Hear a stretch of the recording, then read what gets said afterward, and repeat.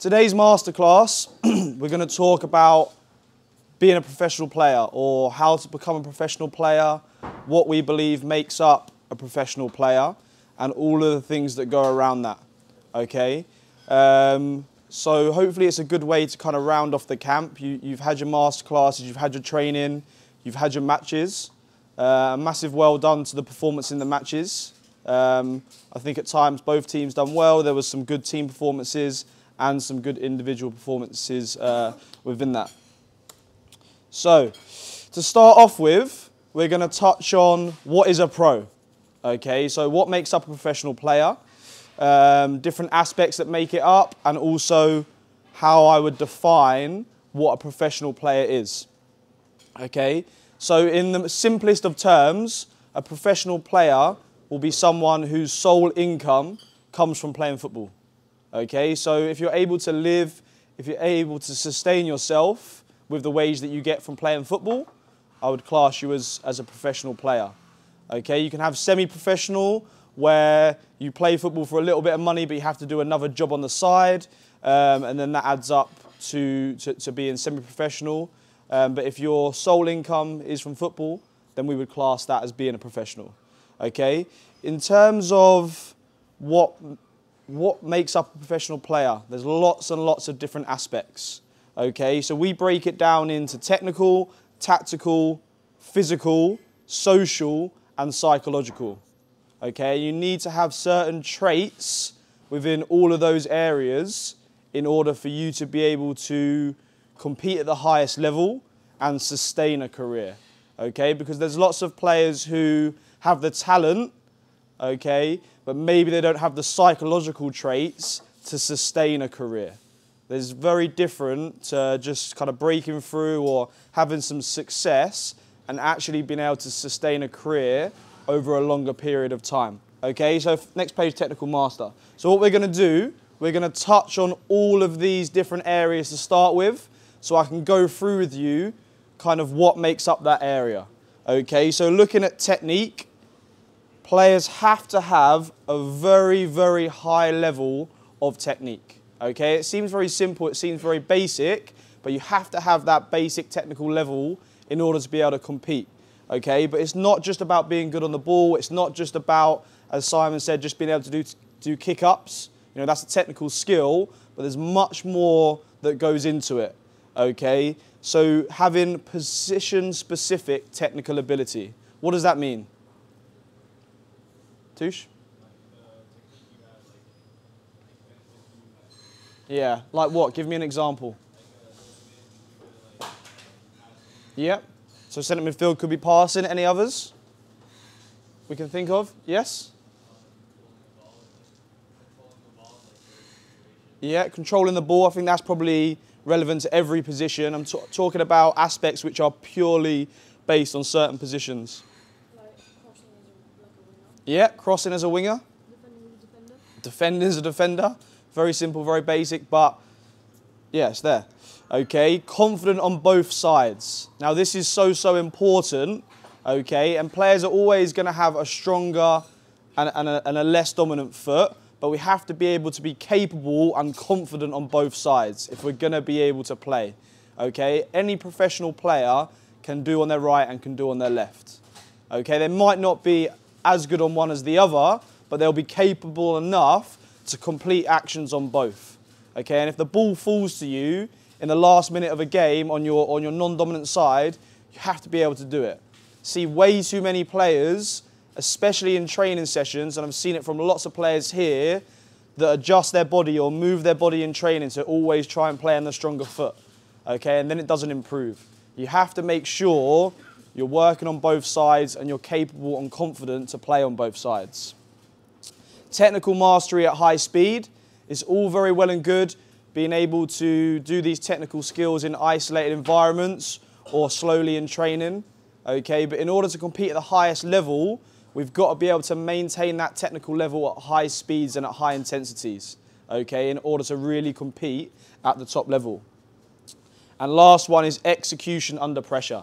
Okay, playing football is a high pressure situation. If you're playing at the top level, you've got fans, you've got teammates, that are putting pressure on you all the time. You've got to be able to execute the technical skills under pressure. See it so many times when players are able to complete actions in training, but when they come into a match, the pressure gets too much and they're, they're just not able to execute uh, those technical actions at the same level.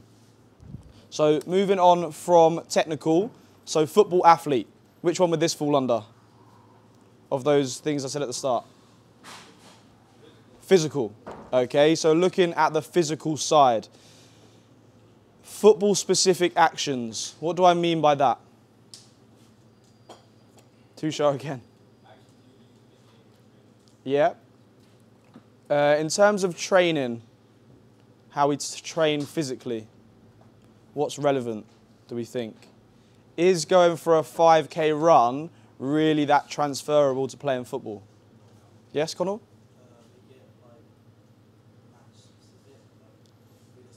Yeah. So what do we think about 5k run? Is it really specific and, and helps you in football? Intervals. Okay. See so many people going on these like 5k runs or hitting the gym and lifting big weights. Okay, and it's just not transferable to what you actually need in a game. Okay, you don't run in a football game for five, five kilometers consistently at the same pace. Doesn't happen. Okay, that might make you really, really fit. Mo Farah can run marathons, can, can win gold medals, and run doesn't mean he's going to be able to run around the pitch and compete. Because when you're playing football, it's explosive, it's intervals, okay, and it's high speed. So when we train physically, we have to try and, try and replicate what's going to happen in a game. So if we want to train to get fitter, it's intervals, it's short, it's sharp, okay, and we're looking at power, we're looking at changes of direction, different movements, and more than anything, it's a reaction. Because every physical action that you do in a match, you're reacting to something. Okay, so you're reacting to the ball going there and you're trying to get in and win it. You're reacting to the defender going past you or a person running and you're trying to chase them. Okay, so fitness in terms of football, you need to be specific in what and how you're training. Okay, being able to physically compete on and off the ball, obviously pretty simple but very important. You have to be able to compete, speed on and off the ball, physical strength, balance and coordination. Very, very important. Okay, you see some players who are very small and you wouldn't think they're that strong, but they have a very good, they have very good balance, very good coordination, okay, and they're able to use their body. Sorry? Yeah, they're able to use their body in certain ways, which means that they can hold off stronger players. Okay, it's about your core, it's about balance, and it's about coordination. Changes of direction, really important, and changes of speed. But not just how quick you can start, it's how quick you can stop as well. Okay, so many times you're running at full pace, the defender cuts back. If you're not able to stop yourself in time, what happens? You go past him, he goes the other way. Okay, so many people concentrate on how quick they can get off the line, but they don't think about those changes of direction and how quick you can stop, how quick you can change direction. And then obviously the last one being diet and nutrition. Such an important factor. Okay, your diet and your nutrition really is going to make a, a massive difference. Effectively, you're fueling your body, just like a car. Okay, cars you have to put petrol in. If you put if you put the wrong if you put the wrong fuel in, the car's not going to work. Same with your body. If you're fuel, fueling your body with the wrong things, it's not going to work. Okay, and if I've got two players that come into a training or a match, and one of them's eating the right foods, one of them's not, it might be that extra 1 or 2% they can get out of their body at the end of the session or the end of the match that's going to make the difference. Okay, so we have to make sure we're focusing on all of these aspects if we're going to be able to perform at the highest level. Moving on again. Football brain. What do we think this one is going to come under? Tactical. Tactical. There we go. Okay, you can see a couple of pictures there of, of, of Iniesta surrounded by players. Okay, and there's a great video as well. I know Simon likes where he's in the corner and he's got two or three players on him, or four or five players on him, but he's so intelligent in his movement they can't get it off him. Okay, and a lot of people say, and it is true, football is played in the mind. Okay, it's about how intelligent you are because there's always going to be players that have different strengths and different weaknesses. Okay, and I was watching a video yesterday of, of Messi, and it shows that I think he walks around the pitch for like was it 85% of the game or something ridiculous? Yeah, he's an exception, but yeah. But he like he's walking for 85% of the game, and if you watch him, all he's doing is walking around the pitch, looking, identifying what's going on, where the weaknesses, where can I find space, and then in the other 15% of the time that he's got the ball and he's moving at high speeds, he knows where to go, who to go to, who, who can I beat, where the players are going to move. Okay, because it's all played upstairs in his mind. Having knowledge of tactics and formations, especially when you come on events like this or you join new teams, different teams are going to have different tactics, they're going to have different formations. Okay, and if you haven't got a base knowledge of football, it's going to be very hard for you to adapt in those situations. Different coaches are going to ask different things of you, and they're going to expect that you have some base knowledge of football, some base knowledge of tactics, and some base knowledge of formations. Not every single one of you is going to know every single tactic and every formation that you're ever going to play in, but can we get information on it? A lot of time in football, we go through trends. Okay, you, know, it was 4 4 2, then it's 4 3 3, then it's 4 2 3 1, then people started playing with wing backs, three at the back. A lot of the time, we go through trends in how teams play and football develops. So, can you keep up to date with the trends? Can you keep up to date with tactics that happened at the time? So, it gives you the best chance to adapt and to thrive within different systems. Awareness on the pitch, so, so important. Who watched, I don't want to talk about it, but Tottenham versus Aston Villa the other day? Yeah? Did you see uh, Harry Kane's assist for Son's goal with his header? Who saw it? Yeah?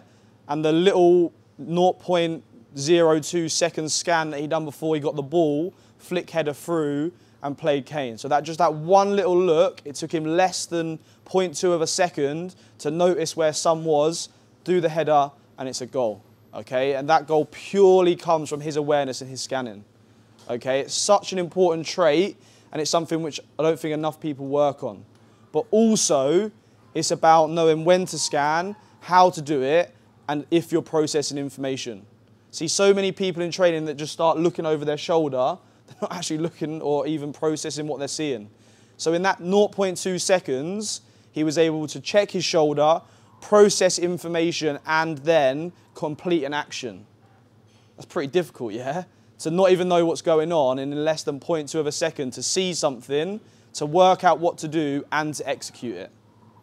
Okay, but that's the level, the, the top, top level. Okay? And are we able to take on information in training? Okay, lots of information will be given to you, especially when you come on something like this. Can you be a sponge? Can you soak up as much information as possible? And then can you execute it and work on it and, and use it to improve yourself? Really, really important. Okay, a good teammate. What does this fall under? Social. Okay, so there's a list of core values. I'm not going to go through all of them because you can read that. Okay, but in terms of being able to cope socially is important. Football is a very, very sociable game. Okay, and the environment that's created in changing rooms, okay, can be hard for people sometimes to adapt and to, to fit into new surroundings. But if you can integrate yourself socially in teams, it, it makes your life so much easier.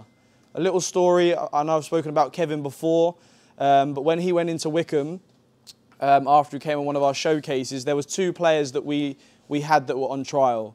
One being Kevin and one being another player called Jacob Gardner-Smith. Okay, arguably Kevin is, a, is a, probably a better player, a player with more potential. Jacob is is he's, he's, he's good, he's okay, but he's a little bit limited in terms of his ability and, and his ceiling of where he can go.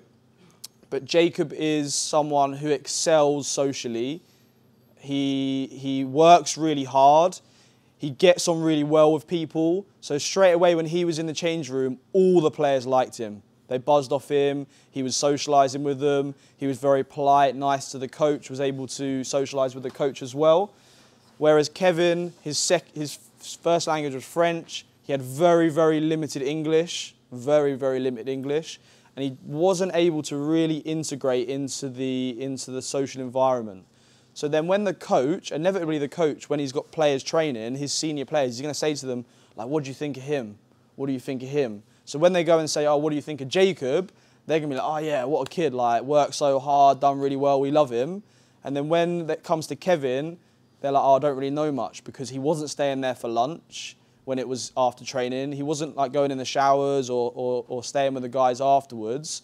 So his, his contact with the other players and with the coaches were limited. So people weren't able to form as, as good opinions on him. So that just shows there that probably Kevin was the, or Kevin is the better player, but Jacob was able to get signed because he fitted in socially a little bit more with the team and, and brought himself part of the unit.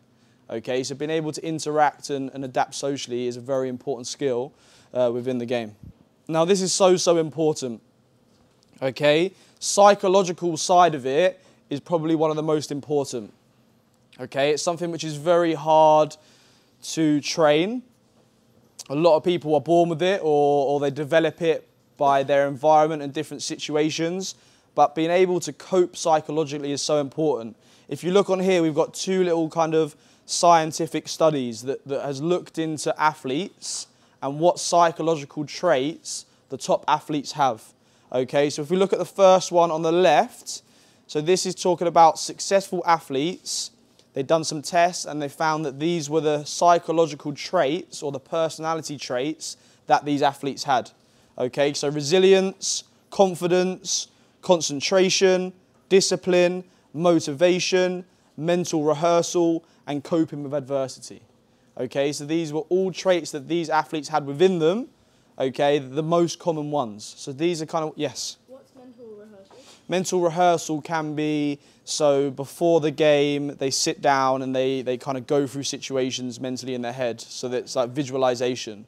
So they might visualize themselves scoring a goal. They might visualize themselves winning the game at the end, or they might visualize that key moment in the game, and it's, it's just kind of getting you in the right frame of mind. On the right, we've got some interpersonal catalysts. This is going to become a little bit clearer on the next slide. Okay, but again, some of these you'll see are very similar to the personality traits. Okay, so commitment, focus and distraction control, really important. Imagery, okay, so that kind of goes back to the mental rehearsal.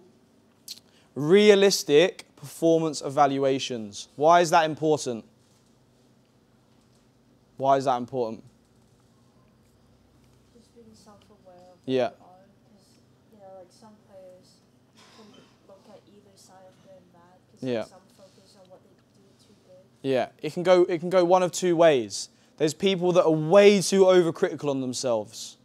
Okay, and it's that's never a good place to be where even when you do well, you're not giving yourself a chance to be happy, you're not giving yourself a chance to feel like you've succeeded. Okay? And then there's another one where people go way too much the other way and they just think they're doing well all the time. And they never think they've done anything wrong. It's always someone else's fault. It's the referee, it's my teammates, you know, it's the it's the grass was too long, sun was too hot, you know, the grass was too green. There's there's always an excuse. Okay? So it's about having the self-awareness to realistically evaluate your own performance quality practice, so the quality that you practice at, goal setting, which we'll touch on later, coping with pressure, planning and organizational skills, and self awareness, which links back in to that realistic performance valuation. So if you go on to the next slide, you'll see a, a model. Okay, this was something that I learned quite recently. I saw it on a talent ID course when I was at West Ham's Academy. Okay, and it talks about the process of someone who has a gift, a talent at the start, or no, has a natural ability, and how that builds up into becoming a talent. Okay, because we have a nature versus nurture debate. Who knows what that means? Yes, Tush. Yeah. What else? Who can talk to me about nature versus nurture? What does it mean? Yeah. Yeah.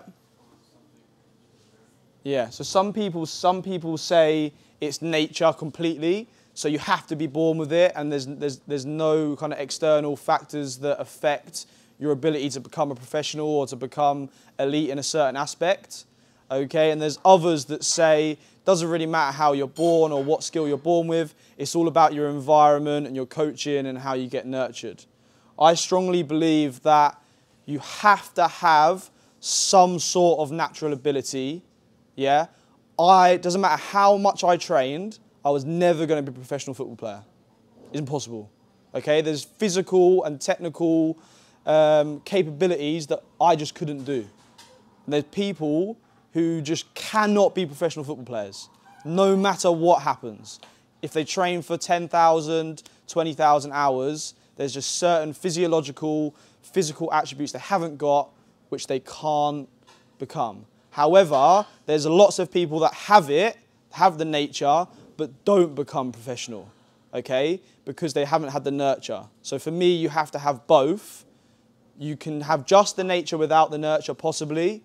Most of the time, you need the nature and the nurture, but you can't just nurture something that didn't have the natural aspect, okay? But if we look at this, so we have natural ability, okay? Then we have a developmental process, which is going to lead to it becoming a talent, okay?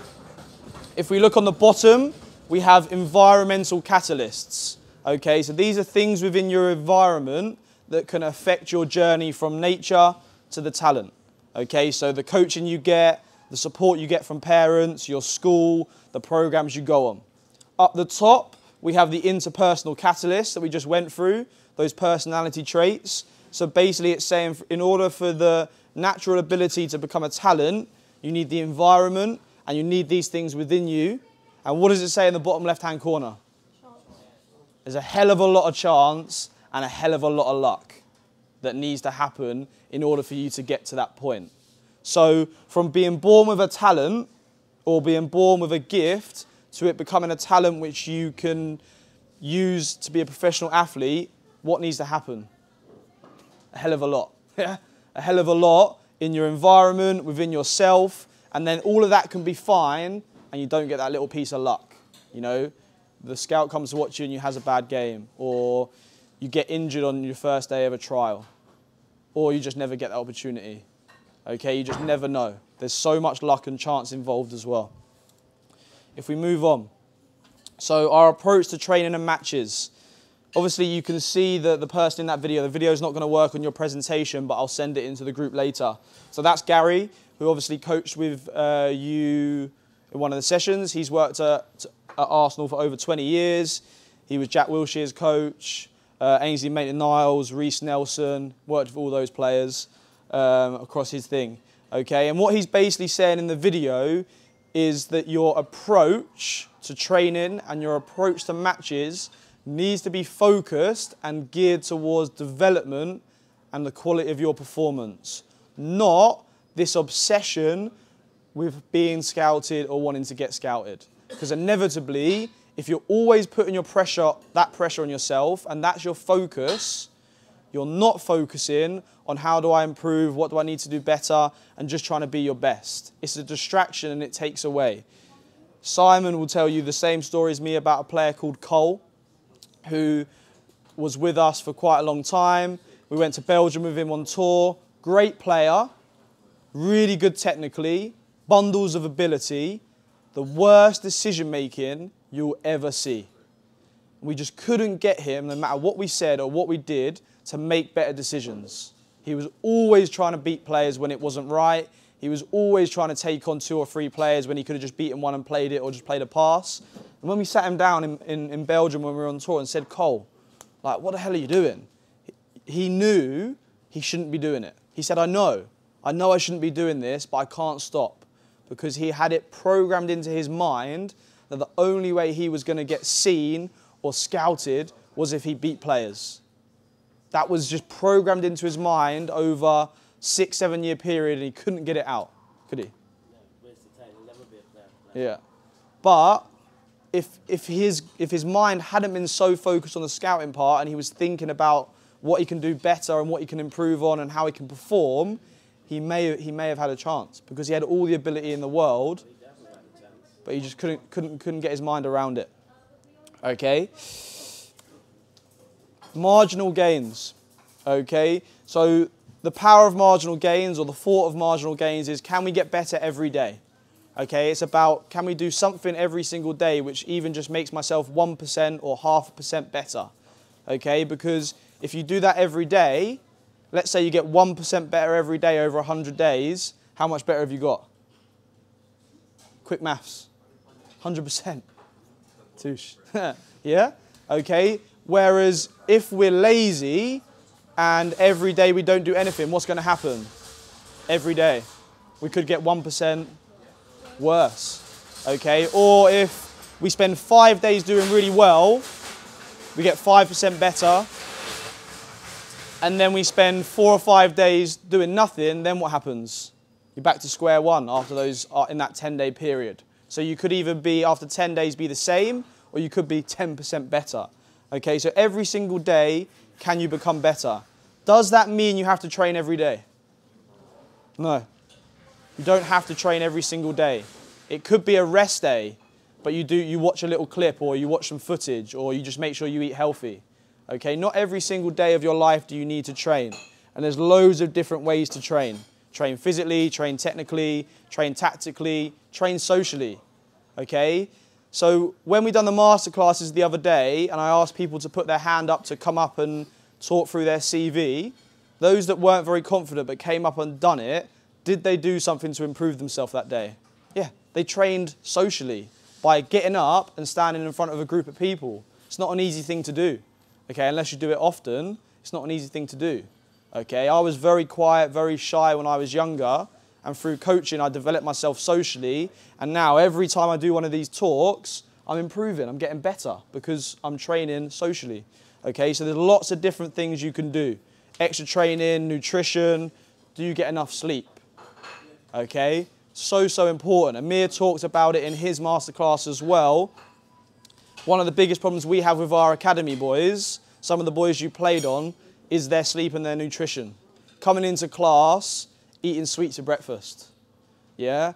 Come into class and they're like half asleep in training. I'm like, what's up? I was like, oh, I was on TikTok till 4 a.m. last night. How are you to, and then they want to get into the first team. Then they think they can compete. Okay? And we'll, ha we'll have days where they're amazing. We, we went and beat Eastleigh 2 0 in the semi final of the Cup the other week. Probably one of the best teams we played all season. But because it was a big game and they probably got an early night the night before, we were able to, to, to win it. There'll be league games where we play against teams that are like bottom of the league, that they, they, they, they just they just piss it off basically, don't get a, an early night, think they're going to be fine, and then they can't compete. Okay, so these extra little things, the 1%, are going to make a massive difference. Personal conduct. Okay, so, so important. Go back to Kevin again. I said it in the last one before. One of the reasons that I still help him now for absolutely no financial gain is because I really like him. Really got on with him. One of the nicest kids I've ever met. And he, he's from a poor background in France. Um, and I just want to help him because I really got on with him and really liked him. Okay, and there's other players on these camps that I meet who I get on with really well, and I'm so much more likely to put myself out there and help them than I am someone who I didn't really get on with or I didn't like their conduct. Okay? I was getting on Jesse's back a little bit yesterday in the game. Not because I don't like him, because I do like him, and there were certain things on the side when he was in the heat of the moment which I didn't think were going to put him in a great light to some of the people on the sideline. Okay, but he's just a very competitive guy, and you never want to take that out of it. Tushar, okay, I, got, I get on really well with Tushar, seen him in Miami, seen him here two times when he got frustrated, he kicked the ball away in the game. Okay, and I get on his back, but that's because those little extra things, people are watching. I guarantee you. Because if a scout is going to recommend a player, it's his name and his reputation that's on the line. And in this coaching and scouting, you're only as good as the last player you recommended. If I recommend a player to the cl a club and he's late, or he just tosses it off in training or he's rude to the coach. The next time I recommend a player, they don't take him in. That, that's how it works. It's as cutthroat as that. Okay, so your personal conduct is so, so important. Okay, yesterday, older players, did you stay and watch the whole of the younger players' match? Some people went home. The younger players stayed and watched your game the day before, even after they had lost quite heavily in the morning, and then stayed and watched your whole game in the afternoon. Okay, so just little things like that. Nothing goes unnoticed, trust me. I will notice everything that's going on, on and off the pitch, and so will scouts and so will coaches. Okay, so as much as that sounds like I'm being a bit harsh, it's just it's just the reality. And what I want to do for you guys is give you the harsh reality, give you the honest truth, so that you have the best opportunity and the best chance to succeed, not just in football, but in life. Okay, these are life lessons, not just football lessons. Okay? Okay, your route to a pro deal. Okay, because I have this kind of question a lot. How can I go pro? What can I do? Can you get me a contract in England? Can you get me a contract here? How can I move to England? How can I play in the Premier League? We done the goal setting thing with some of our players. I think I told you this the other day. The player who is playing for Hemel Town's academy and wants his next step to be La Liga. It doesn't work like that. it's not going to happen. It's not possible. There's a route, okay? Can you become the best player in your team? If you're the best player in your team, then can you become the best player in your local area? If you're the best player in your local area, can you become the best player in your region? And if you're the best player in your region, can you become the best player in your country? If you are in that top bracket, you have a chance. Okay?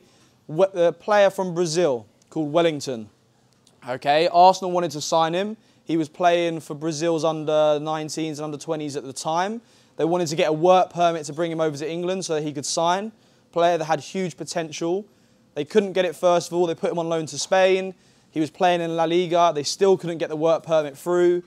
Uh, three or four years went by, three or four loan spells to Spain, and they just couldn't get the work permit. The British government wouldn't grant him a work permit to come and work and play in England, even though he was playing at the highest level. But he never quite broke into the full national team. Okay, and there's a certain amount of games you have to play, and it's a points-based system depending on the ranking, the FIFA ranking, and how many games you play, or if you're going to be able to get a visa. Now, I'm only talking about England. Different countries have different rules. Different countries have different trade deals with different places. You'd have to look into that more.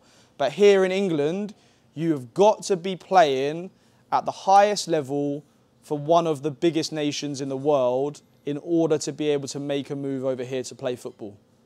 And it's got even harder since of Brexit because before any European player could come here, now they can't. Okay, if you live in Germany and you want to play here, you might as well live in Madagascar or Brazil. It's no different because we're not part of the EU anymore. Okay, so it makes no difference whether you've got a German passport or a Brazilian passport. You need to have a British passport. Same if you have a, an Irish passport, as in the Republic of Ireland, which is, which is there, it's not the same. Have to, you'd have to be Northern Ireland to be part of the UK. Okay, so just something for you guys to think about and, and, and kind of keep your options realistic. The next one, what does it look like? Talk to me about that. Yeah. Yeah, you can see a very, very straight line in the first one. It's your plan. I'm here and my plan is to get there. But in reality, there's going to be a hell of a lot of ups and downs. There's going to be some amazing moments. There's going to be some terrible moments. Okay, there's going to be some challenges. There's going to be some obstacles. And it's going to be very, very difficult. Okay, here in England, we have less than 1% of players that play football, kids that play football, sign for academies. Okay, and less than 1% of those players that sign for academies actually go on and play professional football. Think about that 1% of 1%. 1% of 1%. Okay? It is so difficult. Doesn't mean you don't keep trying and you don't keep going because you never know. There, there, there are people that make up that 1% of that 1%. But be realistic and realize if you're not dedicating your whole life towards it, it's, it's, it's not going to happen. And it's absolutely no problem to just play football for fun, to just play football for enjoyment, okay, and to keep trying and, seeing what happens. I play football at not a great level, loved football my whole life, and I'm still involved in football full time. Okay, I get up every single day for work, just feels like fun. All my friends, they're like, yeah, buzzing, it's the weekend, you know, I haven't got work. I work every day, never feels like work this is my work. Yeah, just coming here, talking to you guys, having a good time, being involved in football. You know, so there's other routes and avenues that you can go down in order to continue to enjoy the game and have a career. Okay? Rules and regulations. Obviously, I touched on this um, a second ago, but it just kind of again goes over some of the rules in terms of work permits and, and playing in England. Okay, so the points based system, having to either have a British passport or you know reach the reach the criteria. Okay, inevitably the government want or the, the FA want British and English players to come through. Okay, they want good players to come in, top top players. Okay, but what they don't want is a massive influx of average or good players when we've got enough. You know, England is very very different to the rest of the world. You know, we have one, we have Premier League, Championship, yeah, 92 professional clubs, Premier League, Championship, League One, League Two, National League. Yeah. National League. Yeah. So we have five professional leagues. And then we have two leagues under that, National League North, National League South, where Hemel play. And there's some clubs in there that are professional as well, that are full time. Nowhere in the world has that. Nowhere even close. If you think of Spain, you have La Liga, you have La Liga 2, which is not a great level. in La Liga 2, half of them are semi-pro. Yeah. And then below that, it's completely regional. So they have one, maybe two professional leagues. We have nearly seven. Yeah, so England is such a different place. It is the mecca, it is the centre of football, okay, but we have a hell of a lot of players. It's our, it's our number one sport, everyone plays it, okay, so it is so, so hard to, to come here and play. Um, so just have to make sure that we're always being realistic because I always get those questions can you bring me to England? Can you do this? Look, if you're playing for your country, yeah, I'll get you a club tomorrow, absolutely no problem. Okay, but if you're not, it does become very hard, if not impossible. Okay, goal setting. Why is that important? We've done a masterclass on it. To like continue your journey to like improve your journey Yeah. to to. Exactly. Okay, so, so important. If you want to become this professional, you want to be a pro, you set goals. Okay? If my goal is to sign for an academy and I reach that goal, what do I do then? Set new goals. Okay? Let yourself enjoy the moment. The hard, it gets even harder. As I said, 1% of players sign, and then 1% of those players make it. So it gets even harder, or it's as hard. Okay, so really important that we're able to set goals. You can see it on here. Make them smart, specific, measurable, actionable, realistic, and have a time limit on it. Okay, all really important. Individual development plan or IDP. Okay, so this is something that all players within England in terms of like academies will work with. Okay, so an, I, an individual development plan is basically where we look at all of these aspects and we set goals and we set targets within it. Okay, so players in England will get a report and it will say what they're good at technically, what they need to improve on, tactical, etc. But within that, if you have something you're good at, do you stop training that? No, Why not? you can strengthen it even more. Yeah. We talk about having a 10 out of 10, or Arsenal speak about a 10 out of 10. So when, when, a, when, I'm, a, when a, I'm recommending a club or recommending a player to the club, the first thing they'll say to me is, what is their 10 out of 10? Is it speed? Okay, is it finishing? Is it willingness to win the ball? Is it their mindset? Okay, what happens is if you just forget, if you're really good at finishing and then you're not so good at everything else and you neglect this and you work on this, this comes up, this comes down, and you just kind of level out as average at everything. So, can you find a way and a balance to still work on your strengths to make them that 10 out of 10 while also working on your other bits that, that can come up as well um, within that? So that is going to be the last slide, but we've still got some time uh, for some questions. So really, within that presentation, I just wanted to give you guys an overview of, from me, what I think makes up a professional player, what I think it takes to, to get to that level and to sustain it in terms of yourselves, what you need to do in all the different aspects, and also a little bit on the rules and regulations. Okay, we have about five, ten minutes left. So, questions. Remember, you need to ask questions, you need to gain knowledge. You can ask myself or Simon, who's here as well, if you have anything you want to ask.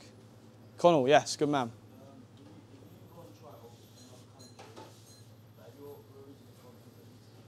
yeah. An English club wants you back, you easily go there and come back. Do you have to?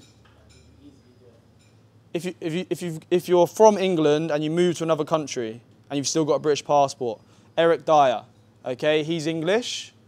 He, he moved over to Portugal with his family when he was young. Spent came through Sporting Lisbon, um, and then he moved back to Spurs. Did he go straight to Spurs from Sporting Lisbon? I think he did, didn't he? Um, so yeah, he still had a British passport, so it's fine. Yeah, once you've got your passport, you've got your passport. So Harrison, yeah, Harrison who went to the US. Yeah. So yeah, that wouldn't be a problem.